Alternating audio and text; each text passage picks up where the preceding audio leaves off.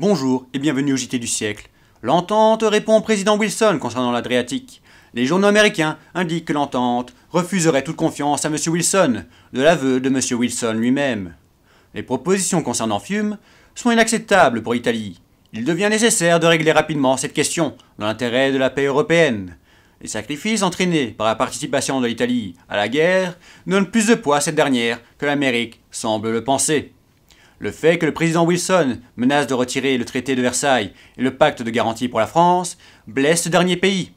Le président détruit ainsi la valeur de ses premiers actes importants en montrant que les engagements contractés par lui n'ont que la valeur d'un chiffon de papier. L'opinion tend à prévaloir que les divergences avec M. Wilson sont beaucoup plus sérieuses que ne l'ont admis jusqu'ici les commentaires semi-officiels de Washington. La discussion du traité au Sénat demeure suspendue jusqu'à l'arrivée de nouvelles informations sans lesquelles les sénateurs sont incapables de discuter. Les chances de ratifier le traité diminuent de jour en jour.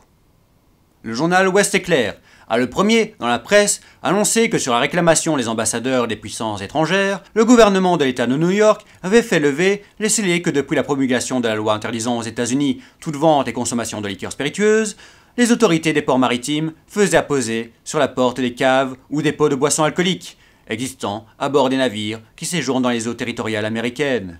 Nos marins de la flotte commerciale ont donc pu, comme auparavant, déguster leurs pinards et leurs verres de finet en toute liberté.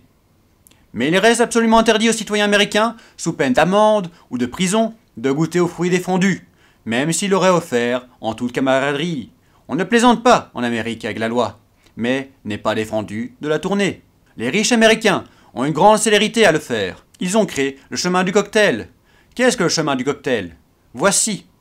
Il existe, à trois simples journées de route de New York, une île au demeurant si délicieuse, Cuba, qui, jouissant d'un gouvernement autonome, garde le droit de boire comme il lui plaît. Voici que les Américains s'y précipitent en foule. 80 000 citoyens des États-Unis se sont déjà transportés sur ces rives bienheureuses et s'y prennent leur quartier d'hiver. Ils ont suivi le chemin du cocktail. C'est une fortune inespérée pour Cuba, mais c'est, par contre, le vide à peu près complet dans les stations hivernales du continent. C'était le JT du siècle, la fois de notre histoire.